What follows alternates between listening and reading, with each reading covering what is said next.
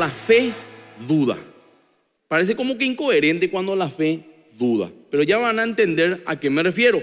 La fe, y escúcheme bien, es un aspecto fundamental en la vida de cualquier cristiano, pues es por fe que somos salvos por la gracia de Jesucristo y también por la cual viviremos a partir de ese momento. Nosotros empezamos a vivir por fe en el momento, en el instante mismo que empezamos nuestra vida cristiana. No es fácil, pero es fundamental. Es gracias a la fe que agradamos a Dios.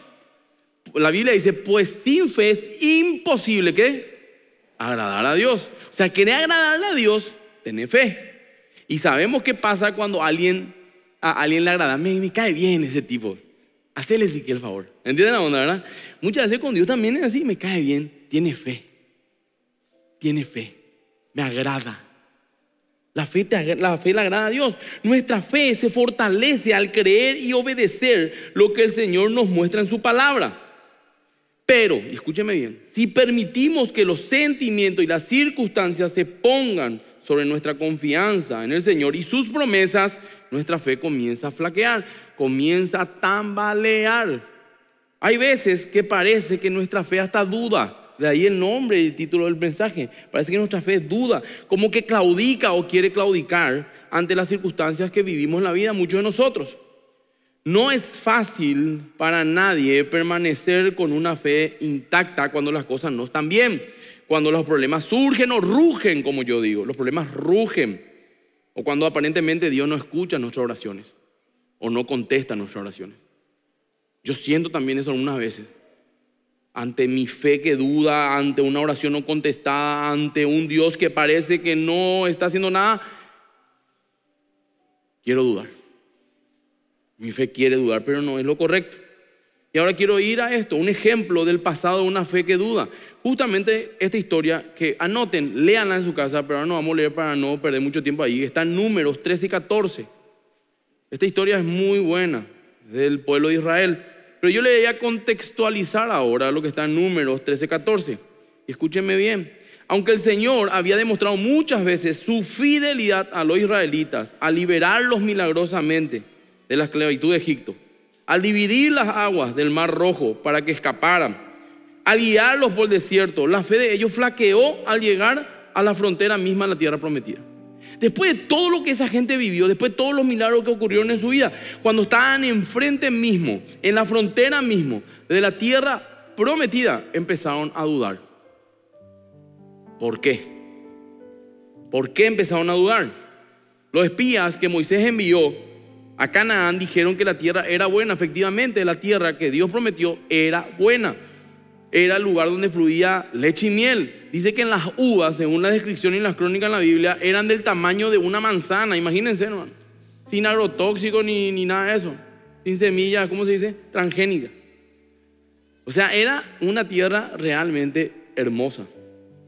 Pero 10 de ellos, de los 12 espías, 10 desanimaron al pueblo al afirmar que no eran lo suficientemente fuertes para vencer a los gigantes que ahí vivían, porque habían gigantes que vivían. Lógicamente una tierra así de linda no va a estar tan desocupada.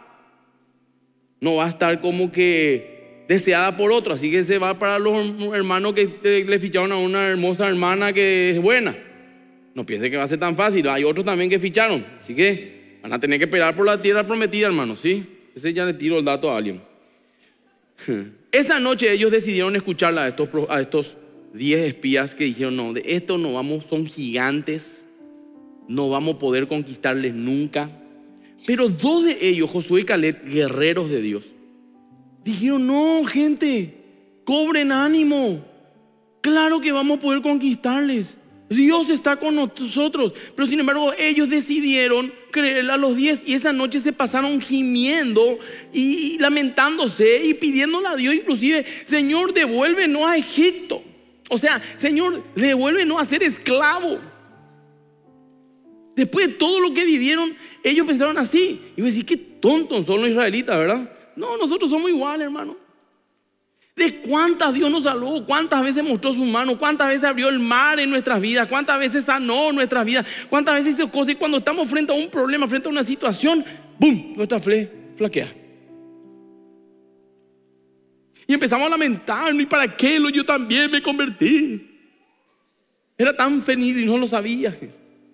Donde está yendo al infierno y te va, pero Dios te rescató, pero no queremos volver a eso. Y sin embargo Dios siempre estuvo ahí, siempre nos ayudó, pero nuestra fe empieza a flaquear ante las situaciones complicadas. Decidieron pasar esa noche llorando y pidiéndole a Dios algo que Dios no quería darle, que es volver a ser esclavos. Decidieron escuchar las voces equivocadas y no las que transmitían fe. Y claro, si era la mayoría que decía que no íbamos a poder, 10 contra 2. ¿Entienden la onda? Democracia, lo que la mayoría quiere. Hace, poco me preguntó un amigo, me llama así un amigo que es político. Me dice, Adolfo, ¿Jesús qué era? ¿Socialista, comunista? Se escuchaba gente alrededor. Niembo debate, ¿verdad? ¿Y qué es lo que tú preguntas? No, porque acá estamos debatiendo que era Jesús. Primero, lo Jesús no era ni, ni democrático, ni socialista, ni comunista, ni republicano. ¿Qué es lo que era Dios? Eh, Jesús era teocrático, le dije. Hacía lo que su padre le decía que haga, no lo que la mayoría quería o la minoría quería. Él hacía lo que su padre le pedía. Así que teocrático. ¿Y Dios qué es? Lógicamente teocrático, porque Él es Dios. ¿Por qué? Dios hace lo que quiere con el que quiere, cuando quiere, como quiere, donde quiere y no necesita pedir permiso ni dar explicaciones. Es soberano. Pero en su gracia no suele explicar algunas situaciones. Pero no tiene por qué. Entonces cuando te preguntan Jesús era un gran socialista. No, Jesús era teocrático. Y la Biblia donde dice eso, no hago nada sin que vea a mi Padre hacer. Hace todo lo que Dios le dice. Alguna vez hacía cosas populares aparentemente, otras veces no, inclusive predicaba y decía cosas que a muchos no les gustaban al punto de que todos se fueron y los que quedaron eran sus apóstoles, le miró Jesús y le dijo, ustedes tampoco nos van a ir. No fue muy buena para los, eh, qué sé yo, para, el sondeo lo que dije, no, no fue buena, pero, y ahí le dije, Pedro, Señor, ¿a dónde vamos a irnos? Solo tú tienes palabra de vida eterna. Así que ya saben ese dato, hermano. Dios hace lo que quiere. Pero el problema es que nosotros decidimos escuchar las voces equivocadas en vez de escuchar las voces de fe. Y pensamos que porque la mayoría dice algo, quiere decir que así es. No es así. Nosotros tenemos que buscar la voz de Dios, la voz de fe. Nosotros podemos más que ellos, el hijo Josué y Caleb, de parte de Dios. Pero sin embargo, yo le dijeron escogerle a aquel lo que decían 10 personas, sin fe. Cuidado a quién le prestas tu oído. Cuidado en donde te paras en la vida a pedir direccionamiento. Cuidado. Porque eso puede agarrar y fortalecer tu fe o destruirla. Por ejemplo, nunca prestes tu oído para el chisme. La boca que habla con chisme es de Satanás. Y el que presta su oído, presta su oído a Satanás. ¿Y cómo sé que es un chisme, pastor? Y saben, no te hagas. Pero si no construye algo en vos, si no alimenta tu fe, si no podés colaborar para poder solucionar una situación, si no puedes usar eso para confrontar, chisme. ¿Para qué me decís? No, yo te cuento nomás, hermana. Poripea. Y empezamos a buscar gente que, tenga inclusive nuestro mismo problema para, para fortalecer nuestras crisis. Vos sabías que ayer nos volvió mi marido a las 11. Una vez me hizo lo mismo. ¿Y sabe qué pasó después? Llegó a las 10 y media y la otra ya sospecha ya mal. O si no ve novela, es un clásico. El marido está comiendo y le mira ya a la esposa. Terminó el capítulo, pues justo que. ¿Qué pasó, mi amor? ¿Qué pasó, mi amor? Ni que nada. ¿Qué es lo que le pasa? Acabó de ver una novela donde él era infiel y eso de la onda, ¿verdad? Cuidado, ¿a dónde? Parás a buscar direccionamiento en tu vida. Atendé bien lo que escuchás. Puede alimentar tu fe o destruirla. Esta gente estaba al borde de no conquistar. Es más, fueron castigados. Que no te toque, no te pases. Ahora, ¿cuál es el problema presente de una fe que duda? Ahora sí vayamos a Santiago 1, 6 al 7. Santiago 1, 6 al 7. Escuchen, pero pidan con fe, no dudando nada. Parece incoherente, si vos pedís con fe, pues, ¿por qué no dudas? No, porque puede dudar esa fe. Pida con fe, no dudando nada, porque el que duda es semejante a la onda del mar que, se que es arrastrada por el viento y echada de una parte a otra. Escuchen esta. No piensen, pues, quien tal haga, recibirá cosa alguna del Señor. Más claro, imposible. Ahora lo leo más rápido. Pida, pero pida con fe, no dudando nada, porque el que duda es semejante a la onda del mar, que es arrastrada por el viento y echada de una parte a otra. No piense pues quien tal haga que recibirá cosa alguna del Señor. La fe es un regalo de Dios basado en el sólido fundamento de una relación personal con Él a través de su Hijo Jesucristo. Sin embargo, para que esta relación se fortalezca y afirme, debemos cultivarla y ejercitarla enfocándonos en el Señor, sus provisiones, sus promesas. Escúcheme bien, ¿quieren tener más fe? Enfóquense en Cristo, enfóquense en sus promesas y enfóquense en su provisión. Dios siempre cumplió con nosotros, siempre lo hizo y siempre lo va a hacer. De lo contrario, seremos sacudidos por nuestros sentimientos y circunstancias o por las opiniones de los demás. Cuidado. Normalmente lo que atenta con nuestra fe es nuestras emociones y sentimientos o las opiniones de alguien, los comentarios de alguien. Y eso afecta a nuestra fe y lógicamente eso hace que nuestra fe empiece a dudar hasta que hace inclusive que mucho desaparezca su fe. Y ya saben ya que sin fe es imposible agradar a Dios. La fe es fundamental. Ahora, ¿cuáles son las causas para que nuestra fe dude? Quiero que tomen nota, hermano. Porque quizás a alguno le sirva. A mí me sirvió. Yo veo esas causas, identifico y cuando lo identifico empiezo a actuar. Tengo que saber la causa para saber cuál es la forma en que yo tengo que encarar y solucionar eso. Algunas de las causas que a identificar para que nuestra fe pueda tambalear son estas. Primero, cuando nuestra confianza en Dios está en conflicto con el razonamiento humano. Escúcheme bien, vivir por fe requiere que dependamos del, Señor y no simplemente de nuestras facultades. Pues hay veces que aquello que parece lógico para nosotros puede ir en contra del propósito y la voluntad de Dios para nuestra vida. Hay veces que nosotros vemos un desafío tan grande que si no tengo la capacidad para atravesar eso, no tengo la capacidad para absorber eso, no tengo la forma en que voy a zafar de eso. Pero sin embargo, cuando lo enfrentas con fe, te das cuenta de que Dios hizo que lo pueda sobrellevar, hizo que lo pueda llevar, hizo que lo pueda alcanzar, hizo que lo pueda sostener. ¿Por qué? Porque siempre estuvo Dios, tu capacidad no da. Pero Dios puso el extra. Dios hizo que esa facultad y esa capacidad que tengas se desarrollen con fuerza. ¿Entienden lo que quiero decir, hermano? No lo digo yo, ustedes lo experimentaron en más de una vez su vida. Y a pesar de eso dudamos. A pesar de eso dudamos.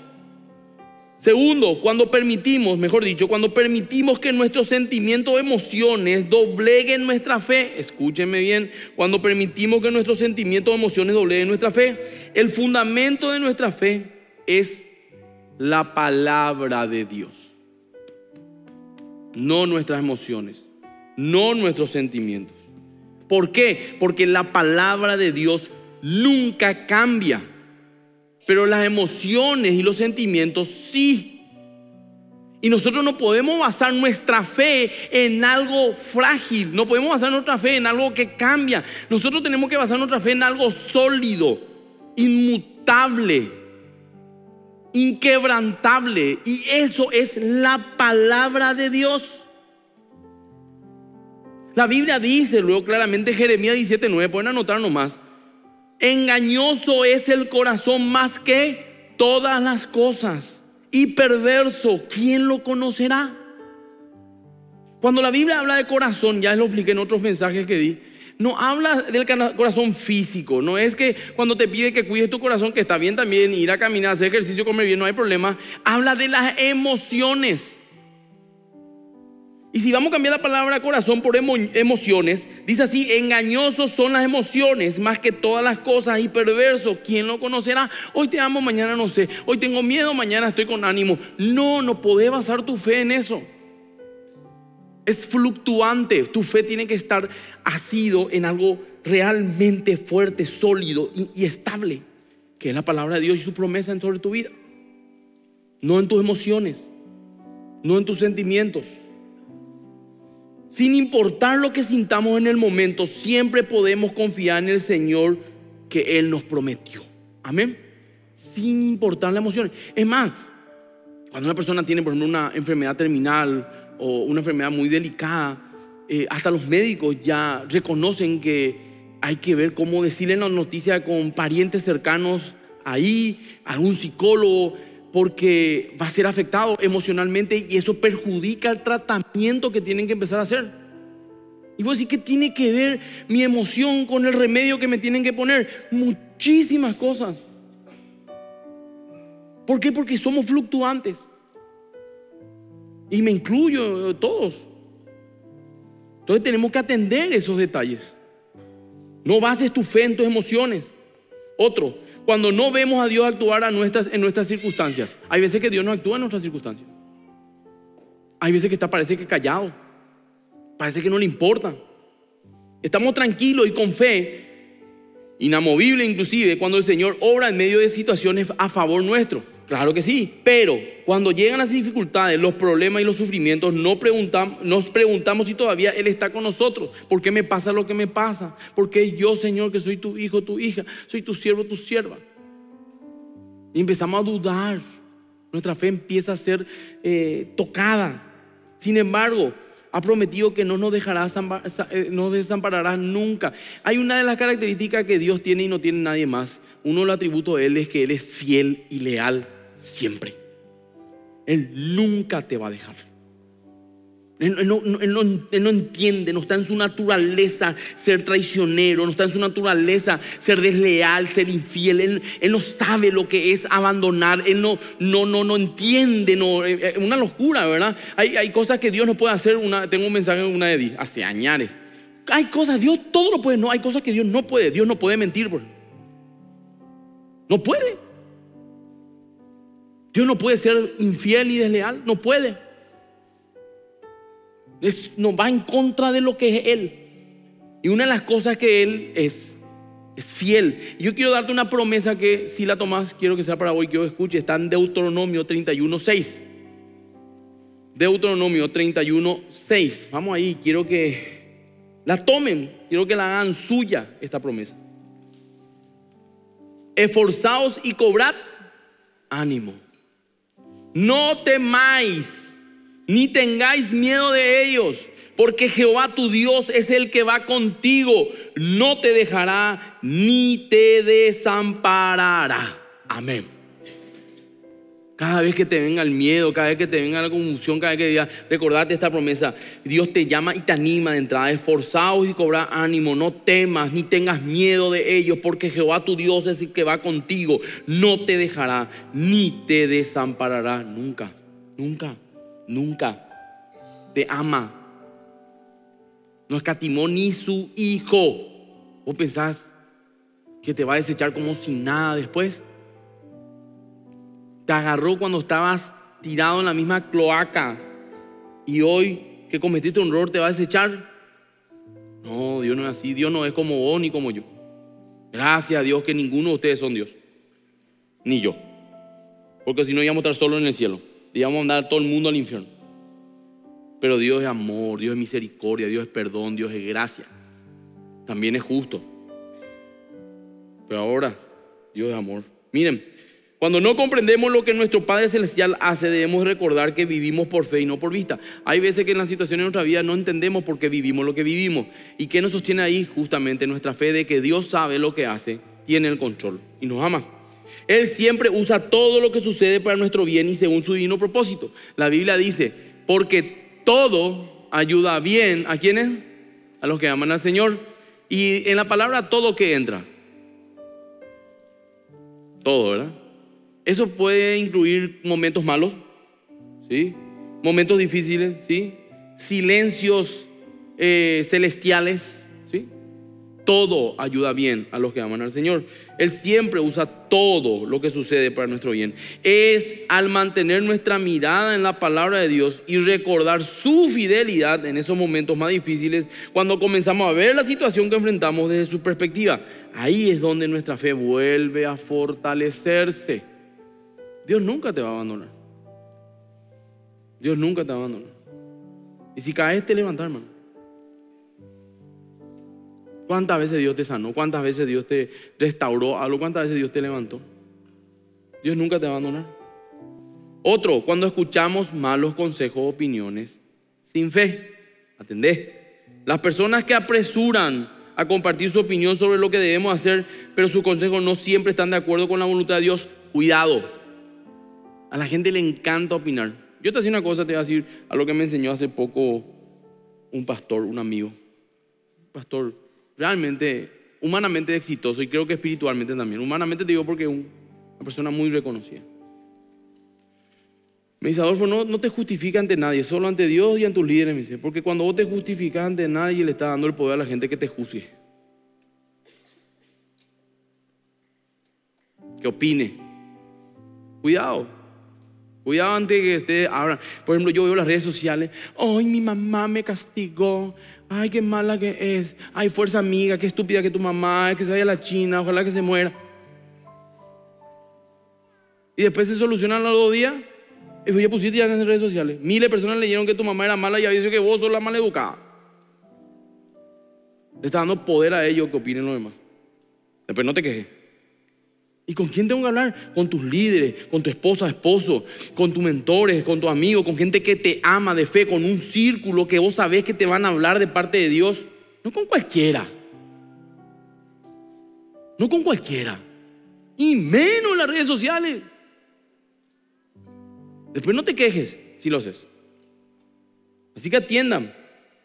Otro, cuando nos enfocamos en las circunstancias y no en Dios. Miren, el otro, cuando escuchemos consejos de opiniones sin fe, me olvidé de recalcar lo que hicieron los israelitas. ¿Qué escucharon? La voz de los diez que dijeron que no se podía. ¿Qué hicieron? Se lamentaron y lloraron. En vez de prestar su oído para los dos que sí hablaban de parte de Dios, prestaron su oído para los diez que no lo hacían. Cuidado a quien le presta tu oído. Cuidado a quien le pedí consejo. Porque están haciendo de que tu fe crezca o muera. Cuidado qué palabra escuchar porque construye o destruye algo en tu vida. No, a mí no me afecta esa cosa. Mentira, todo no afecta. La, la palabra es poderosa. Con la palabra se desafiaron Satanás y Cristo. Con su boca Dios hizo el universo. Es muy importante lo que sale de tus labios, muy importante lo que mete en tu oído. Tengo un mensaje de eso, algún día voy a repetir. Tenemos que saber qué vamos a escuchar, qué construye nuestra vida. Y si vamos a emitir una opinión que sea algo que realmente edifique en los demás. Y también, ustedes saben que yo, no sé si ya llegué a los 43, llegué hace dos semanas, fue mi cumpleaños. Me siento joven, pero no tanto, no sé si me explico, ¿verdad? Y yo ya soy muy selectivo ya. Ayer, por ejemplo, una persona me dice, mira, pastor, lo que escribió fulanito en las redes sociales. Y una persona que yo le quiero y le aprecio. Le Decirle, no, no le decir nada. ¿Y por qué? Si a vos te escuchaba su pastor, no, no le decís nada. ¿Por qué? Porque se enojado conmigo. Le. Y ya le dije mil millones de veces. ¿Y qué vamos a hacer, pastor? Y vamos a esperar a que se estrelle. Y ahí vamos a recoger lo que se queda. Pastor, no puedes así, sí puedo así. ¿Sabes que Voy a pelearme con alguien, se va a terminar haciendo lo que él quiere otra vez, va a estrellarse y yo voy a tener que ir. No tengo tiempo. Yo le voy a decir, decílele. En serio, metele. ¿Qué voy a decir? No también. Para que me diga, viste eso, Manuel. Le dijo, a la media hora me llama pastor, me mandó a la China. Y ahora publicó lo que hablamos. Te felicito. Pedí un aliado con él cuando tenga que estrellarse y tenga que levantarle. Porque a vos no te vamos a querer escucharle. Ah, no es siempre tampoco. Hay gente que sí le digo. Depende de quién es el sector para ver si doy o no el mensaje. ¿Me explico? Acá hay dos grupos de personas así que, que y otras así, wow, Dios me habló, ¿verdad? No hay problema, yo tiro la semilla. Pero depende mucho del sector, depende del corazón con el cual va a recibir las cosas para yo emitir o no una opinión. Si va a construir o no algo en él o va a destruir algo. O también escojo el momento, no es que no le voy a decir, no le voy a decir ahora. Tenemos que ser sabios. ¿Y cómo vamos a ser sabios, pastor? Tenemos que ser guiados por Dios. O tenemos que decirle a Dios, Señor, propicia el momento para que se dé esa conversación. Y Dios propicia. Por ejemplo, si él o ella viene y te pregunta sobre una ocasión o sobre una situación, entonces vos ahí con mucho respeto, te voy a decir con todo respeto, si que te va a ofender. Ese es un clásico, ¿no? No, no, no es siempre así. Y ahí le decís. Pero eso no tiene nada que ver con ahora. No sé por qué dije, ese antes era para alguien de aquí. Continuamos. Dice acá, cuando nos enfocamos en las circunstancias y no en Dios. Nos sentimos tentados a hacer esto, pues vivimos en medio de situaciones que desafían nuestra fe. Sin embargo, en vez de solo mirarla de nuestra perspectiva, debemos de verla a la luz de nuestro soberano y amoroso Dios. Cuando nosotros miramos las circunstancias y no a Dios, lógicamente que eso va a afectar nuestra fe. Uno de los casos más clásicos que le puedo dar es el caso de Pedro cuando empezó a caminar sobre las aguas. Mientras él caminaba sobre la promesa de Dios, ven, mientras él caminaba sobre las aguas, mientras él estaba enfocado en Cristo, él empezó a caminar sobre esa tormenta, sobre esas aguas. Pero cuando él empezó a mirar sus circunstancias, a mirar alrededor, a ver la tormenta, a ver las olas gigantes, ¿qué pasó con él? Empezó a hundirse. Cuando nosotros empezamos a mirar más las circunstancias que a Dios, lógicamente que van a hundirnos nuestra fe. Pero cuando empezamos a verle más a Dios que a las circunstancias, o ver al menos las circunstancias a través de Dios, las cosas cambian. Nosotros tenemos que entender que lo que nos mantiene firme en la fe son nuestras promesas. Perdón, las promesas de Él en nuestras vidas. Y sí, son nuestras promesas que Él nos las dio. Cuando las cosas están mal, descansamos en Dios. Y Dios se encarga del resto. Cuando nosotros empezamos a mirar las circunstancias, empezamos a ver que todo está mal, lógicamente nuestra fe va a decaer. Mírenle a Dios. Y a través de Él, las circunstancias de su vida a través de sus promesas, las circunstancias. Yo no voy a morir, viviré, decía el rey David, para la gloria de Él. Mi casa no va a caer. Mis hijos no van a ser así. Porque Dios me prometió, yo voy a ver. Sí, hoy no está bien, hoy las cosas están mal, hoy está complicada, hoy inclusive te puedo decir hasta que enterramos esta situación. Pero ¿saben qué? Dios me prometió, voy a esperar, voy a descansar en Él y empiezo a caminar sobre esa tormenta. No es que, no es que eh, Pedro caminó sobre aguas cristalinas y, lisas como alfombra en un sol radiante. No, él caminó sobre las aguas en medio de una tormenta. Así que si estás caminando sobre las aguas es porque estás viviendo una tormenta. Tranquilo. Y aunque te hunda, ahí está la misericordia. ¿Quién va a extender su mano para levantarte? Cristo. ¿Por qué? Aunque dudaste, Pedrito, yo soy fiel. Vení acá y te lleva a un lugar seguro. Pero vamos a ir. Cuando no conocemos los caminos de Dios, solo en la Biblia vamos a aprender acerca de los caminos del Señor. Así que si ignoramos las Sagradas Escrituras, se nos dificultará, se dificultará confiar en Él, pues no comprenderemos por qué nos niegan nuestros caprichos. Dios te prometió que te va a dar todo, pero no todo lo que querés. ¿Cómo vas a saber vos confiar en alguien que no conoces? Por ejemplo, mi esposa, yo, doy el ejemplo, mi esposa me llama, o mi hermano, o mi mamá, o lo que sea, y aunque me llamen número, número desconocido, yo escucho hola y sé quién es. Y yo le pregunto a ustedes, ¿cómo sé quién es? Porque la mamá pastor, no, no, no, no, no hace cursi también. No es porque le amo. Porque yo también le escucho a mi secretario a alguien y reconozco su voz y no es que le ame como le amo a mi esposa, ¿verdad? Le conozco, paso tiempo con ellos, hablo constantemente con ellos. Entonces su voz me resulta familiar. Yo le puedo amar a un tío que no le veo hace 10 años y me llama, yo no voy a saber quién es hasta que no me explique. ¿Por qué? Porque no comparto con él.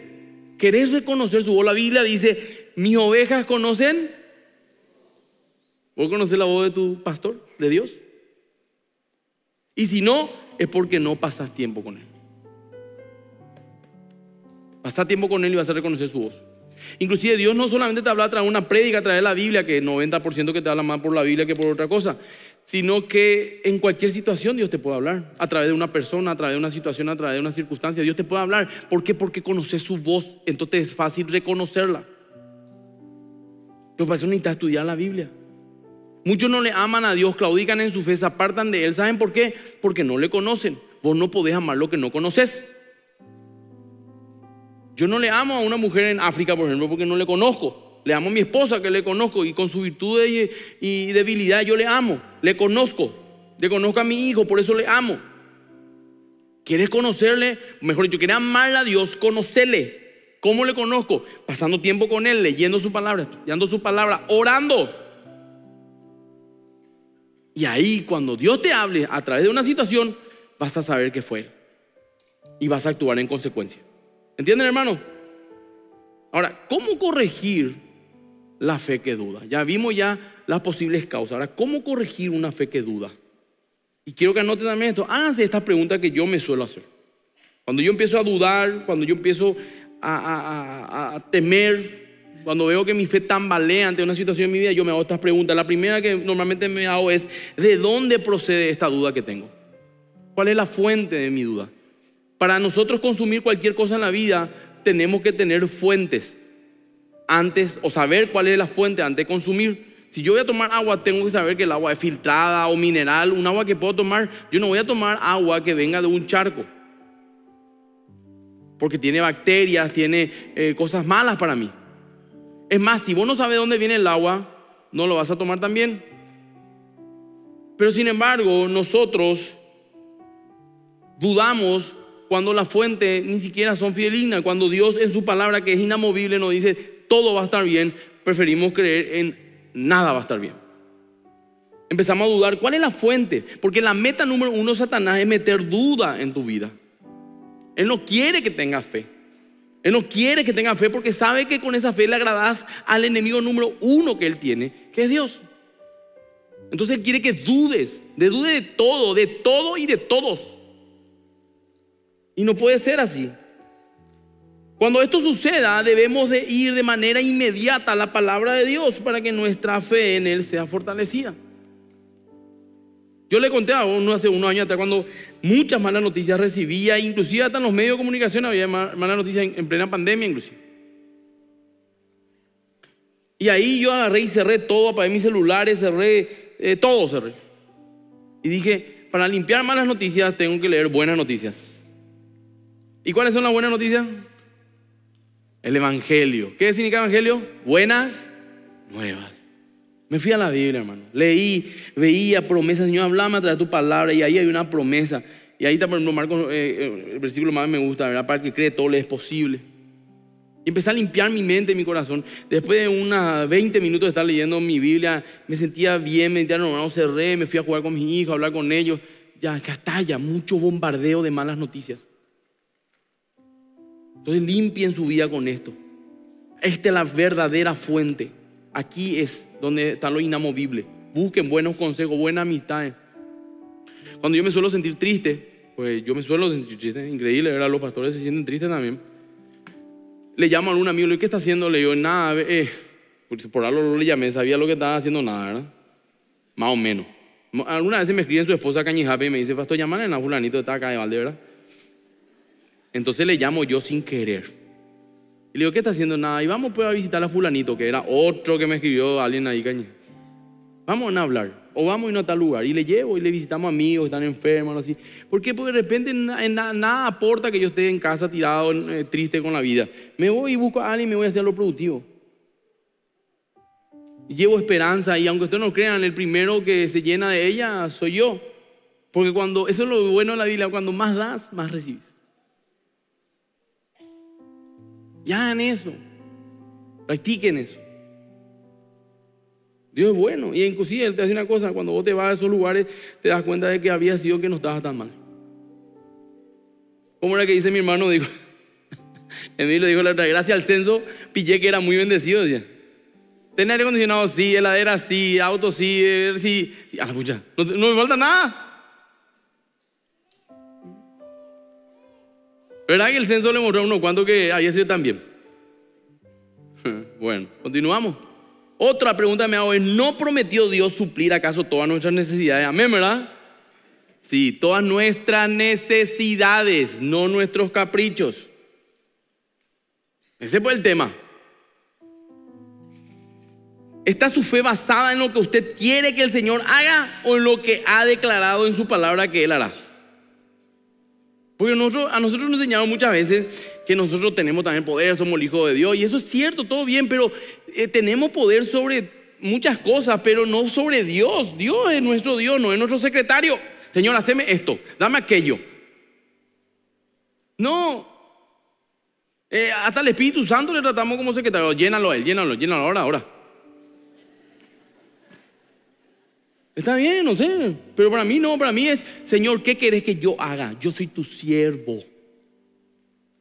No es que Él va a hacer por mí, yo, yo qué querés que haga, qué paso querés que dé. Porque saben qué, hermano, en la obediencia hay bendición. No es Dios, quiero que haga esto. No, Señor, ¿qué querés que yo haga? ¿A dónde querés que yo vaya?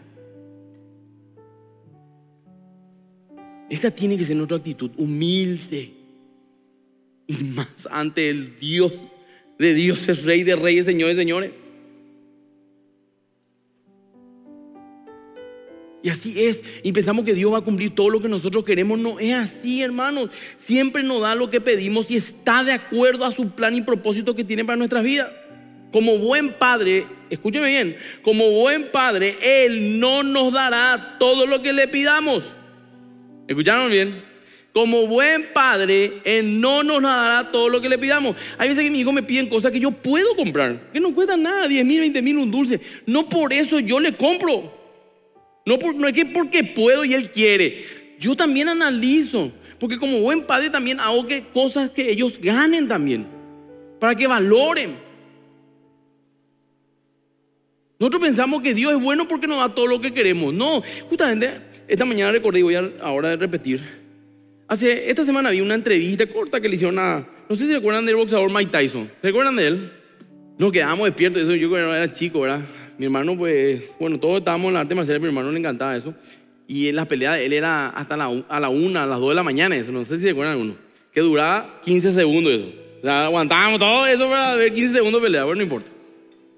Y ganó muchísima plata y le están entrevistando. Le dice, ¿cuál fue tu momento que, tu mejor momento en la vida? Le dice, cuando estuve tres años en la cárcel, le dice. Se quedaron haciendo, ahí los entrevistadores. ¿Y por qué? Le dice, porque tenía paz. Ellos no estaban preocupados si ganaban una pelea, si me querían o no por lo que tenía, si me eran o no infiel mis mujeres o esposa. Yo estaba en paz y me dice. Y él le decía, pero no entiendo, no, puedes decirme que tu mejor momento fue estar en la cárcel. Mm, no sé, tu mejor momento no era terminar una pelea, ganar 30 millones de dólares y te iba a festejar. No, es más, yo tengo una teoría, decía atiendan lo que dice. Yo creo que Dios te castiga dándote todo lo que querés. Para ver si lo puedes manejar. Cuando yo empecé a tener todo lo que quería, me empecé a apartar de la gente que grande valía. No está muy loco en la teoría. Hay gente, hermano, que Dios le bendice y si te vi no te conozco. Acá, Hay gente lo yo digo, ¿cómo está fulanito de tal? Y está bien, no se congrega más. ¿Está bien? Y cuando le va mal acá le vemos haciendo silicio. Como buen padre Dios, porque te ama, no te va a dar todo lo que le pedís. Te va a dar lo que necesitas y algunas veces más. Es más, ya no da más de lo que necesitamos. Dios es muy bueno. Justamente el pastor habló el domingo pasado sobre la gratitud, ¿verdad? Entonces aprendan de eso, ¿sí? El equilibrio es fundamental, hermano. Otra pregunta. ¿No nos dio Dios la ayuda del Espíritu Santo para permitirnos hacer todo lo que Él nos demanda hacer? ¿Por qué dudamos? En el momento en que fuimos salvos, el Espíritu Santo vino a morar en nuestras vidas para guiarnos y ayudarnos a obedecer al Señor. Eso tiene que fortalecer nuestra fe. Otra pregunta. ¿Hay algo demasiado difícil para Dios? Dígame usted, ¿hay algo difícil para Dios? No. Lucas 1.37, anoten, pero yo le digo de memoria, uno de mis versículos preferidos. Lucas 1.37 dice, porque nada hay imposible para Dios. ¿Escucharon lo que dice Lucas 1.37? Porque nada hay imposible para Dios. Cuando mi fe flaquea, cuando me siento triste, cuando me siento preocupado, cuando veo que no está pasando muchas cosas que estoy pidiéndole a Dios que pase, me recuerdo que si no pasa es porque Dios tiene otra salida. Dios está trabajando con mi carácter, Dios está fortaleciendo mi fe, pero algo que no dudo es que nada hay imposible para Dios. Nada es nada. Ese es tu Dios. Todo es posible para Él. Así que cuando vos le pedís algo y Él no da, y vos estás haciendo lo correcto, Descansa en Él, que tu fe se fortalezca. Ya Dios te mostrará o hará. Pero descansa en Él, que no flaquee tu fe. Pero eso no significa que quitará todo el dolor o sufrimiento de nuestras vidas, no.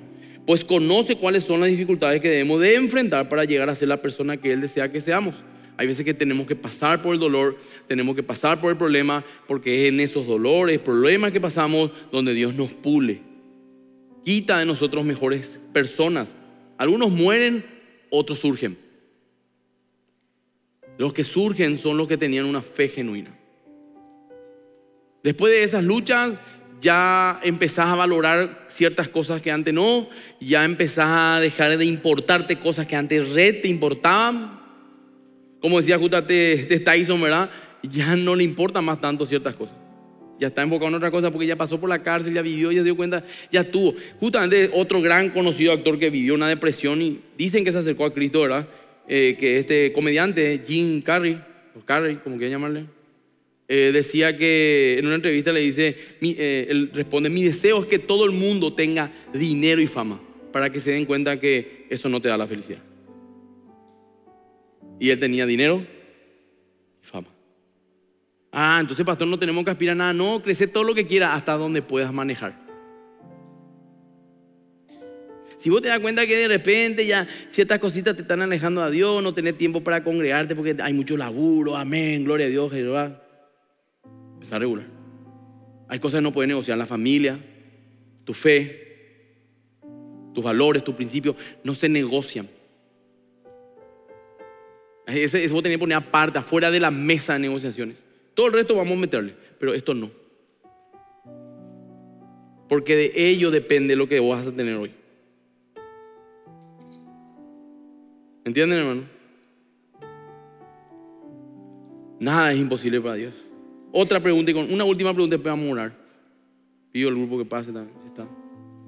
Y escúcheme bien, porque esta es una pregunta muy importante que yo me hago cada vez que estoy pasando momentos un poco largos de, de, problemas, sufrimiento. Dice, esta situación permanente que podría costarme todo, ¿es, ¿es una situación permanente o no la que estoy viviendo? Y podría costarme lamentos. Una de las cosas que Satanás más quiere que vos creas es que tu situación es permanente. Que siempre va a ser así, que tu vida luego fue, eh, eh, naciste para sufrir. Es el primer tema que Satanás va a poner en tu corazón. Y es lo primero que te digo que te está mintiendo. Satanás quiere que pienses que tu situación momentánea es permanente. ¿Para qué? Para que tomes decisiones equivocadas.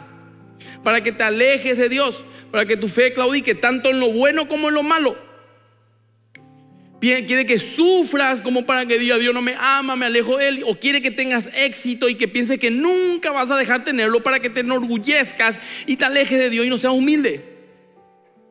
Las dos cosas, pensar que son malas, o sea, que, que, son cosas, las buenas parecen malas, porque pensás que es permanente. Te voy a explicar así. Es importante que vos mantengas siempre tu juicio. En los momentos difíciles, saber que son momentos, no importa cuán oscura sea la noche, no importa cuánto llueva, no importa cuán fuerte sea la tormenta, va a amanecer, va a escampar, va a salir el sol. Y en los momentos buenos, no creas que sos un winner toda la vida, que nunca vas a tener momentos difíciles, porque si no vas a empezar a enorgullecerte, a ser chanta, a no ser humilde. Y a Dios no le agrada eso. Y alejarte de Dios. Entonces, si vos manejas, bueno, hoy estoy en un buen momento de mi vida, lo voy a aprovechar, lo voy a disfrutar, voy a ahorrar, voy a hacer muchas cosas sin alejarme de mi Dios. Y cuando vengan los malos momentos, no importa, yo voy a estar preparado.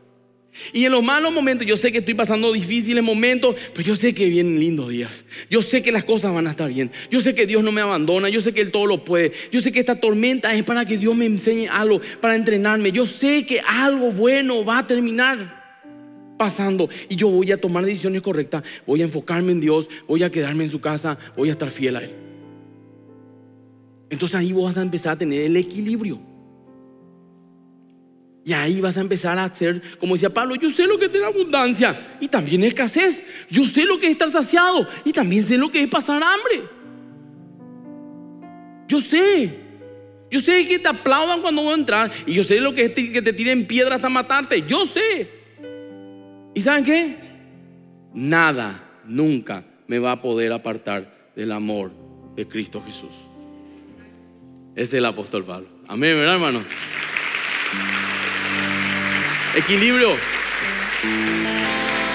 Nunca, nunca le creas a Satanás que lo que está viviendo hoy es permanente. Es un momento. Es un momento, aunque haya durado ya mucho tiempo, es un momento. Vienen días mejores, vienen situaciones mejores. Dios tiene el control. A él nada se le escapa. Que tu fe no claudique, que tu fe no decaiga, que tu fe no muera, que tu fe no dude. Sé firme. Yo quiero ahora con ustedes orar. Vamos a ponernos a pie. Yo quiero que oremos ahora un ratito. Quiero que vos ores en tu lugar. Y quiero que selle esta palabra pidiéndole a Dios que ponga en tu corazón una fe que no dude. Y si están en familia, oren juntos, porque son uno, como matrimonio, como familia, y pidan a Dios, Señor, te pido en el nombre de Jesús, que mi fe no dude. Ayúdame a tener una fe que permanezca firme, una fe que esté sujeta a la palabra y aunque no pase lo que yo te pido, aunque no ocurra lo que yo quiero, Señor, yo estoy firme contigo, Señor. De peores me quitaste, de cosas más grosas me salvaste, Señor. Yo sé que de esta lo voy a salir, Padre Santo, en el nombre de Jesús. Yo sé que voy a salir, Señor. Mi fe está firme en tu palabra, en tus promesas hacia mi vida, hacia mi familia, hacia todo lo que yo amo, Señor. Orale, te pido perdón, Señor, si dudé. Te pido perdón y te pido perdón ya de antemano porque sé que voy a dudar. Yo sé que tú lo sabes y te pido que cuando lleguen esos días, tú me vuelvas a traer al camino de la fe verdadera, Señor. Orale a Dios, orale ahí un ratito. Mientras adora acá Lauri. Hay un ratito, ore, no te apresures, estamos súper bien de tiempo. ¿Mm? Gracias, Señor. Gracias. Gracias, Señor. Gracias, Señor. Todo es posible. Todo es posible.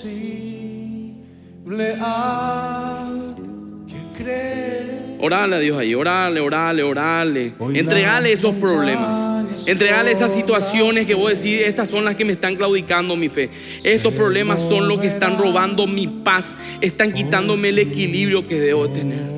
Señor, en las bendiciones, si estás siendo bendecido por Dios en este tiempo, que no me aparten de ti, Señor. Que nunca me olvide de ti, Señor. Gracias por estos momentos buenos que estoy viviendo. Gracias, Señor, por estos días buenos que estoy viviendo. Pero que no me olvide, Padre, de que lo que tú me das es para tu gloria, no para apartarme, Señor. Gracias, Señor. Gracias, Señor. Gracias, Señor. Ahora déjenme orar por ustedes, ¿sí? Para despedirnos. La gente que quiere oración puede pasar al frente. Acá está el misterio de intercesión. Vamos a estar orando. Y quiero que se vayan en paz, ¿sí? Que tu fe no claudique. Lee la palabra. Ahí hay promesas para tu vida. Tienen tu nombre y tu apellido. Dios creó todo para que vos te acerques más a Él, no te alejes de Él. Y estos momentos que puedas estar viviendo difíciles, que tu fe, tu fe pueda estar claudicando, yo te quiero decir algo, no son momentos para que dudes, son momentos para que se fortalezca tu fe. Amén. Señor, en el nombre de Jesús, oro por cada una de estas personas que están aquí. Señor, bendice a tu pueblo. Señor, que esa fe sea inamovible. Que no tengan miedo al porvenir, aunque parezca que ya está decretado y declarado que eso murió, que eso no va a pasar, que esas cosas no van a ocurrir. Padre, tú eres el que tiene siempre la última palabra, Señor. Y descansamos en ti, Padre Santo. Tú eres el que determina. Ayúdanos a nosotros a estar firmes, a no actuar en represalia, a no hacer cosas que a ti no te agraden, porque al que tenemos que agradar siempre es solamente a ti, Padre. En el nombre de Jesús, dale fe a tu pueblo, una fe, Señor, intacta, una fe verdadera, una fe basada en tu palabra, en tu promesa y en ti, no en las circunstancias, no en mis emociones, no en mi razonamiento, en ti, Señor. En el nombre de Jesús. Gracias, Señor, por este día. Bendigo a tu pueblo, que vaya en paz y que Dios les bendiga en el nombre de Jesús. Amén y amén. Vayan en paz, hermano. Que Dios les bendiga.